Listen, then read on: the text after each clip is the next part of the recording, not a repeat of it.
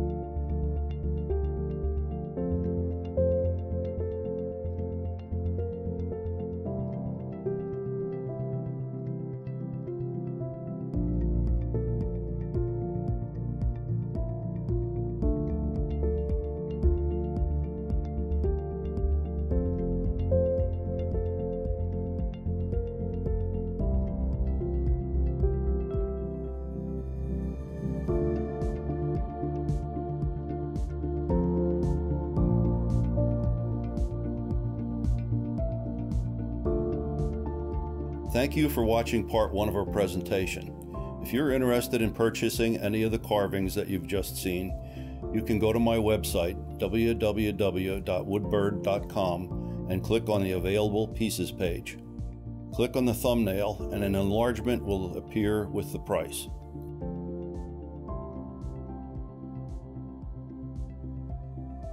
If you'd like to learn more about bird carvings and rhododendrons, please continue with part two of the video.